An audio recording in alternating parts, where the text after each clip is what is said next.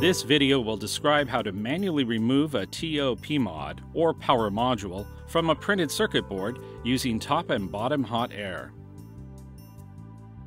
To prevent damage to other components around the power module, heat should only be applied to the area that contains the part. Apply additional flux to promote heat transfer and to break the oxide on the lead areas and around the body.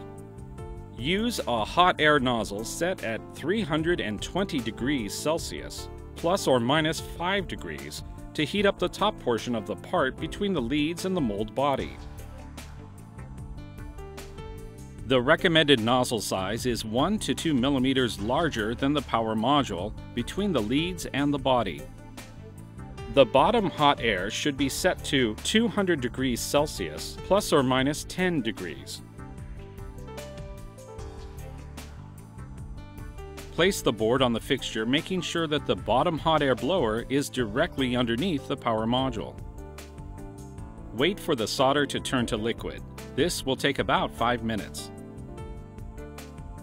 Using tweezers, remove the power module by picking it directly up off the PCB.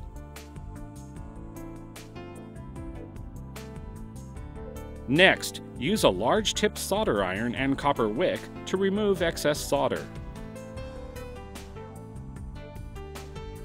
Use cotton tips and isopropyl alcohol to remove excess flux.